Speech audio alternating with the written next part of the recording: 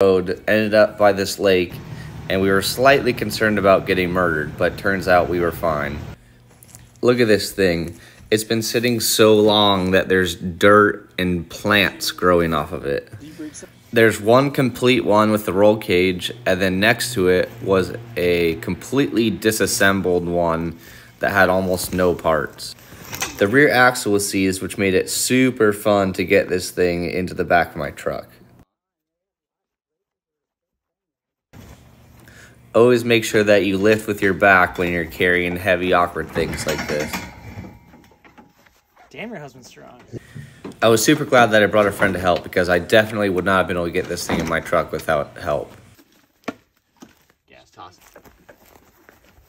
Giant rusty bar right on the bottom. As you can see, there's just a wee bit of moss and dirt covering these things, but it should come off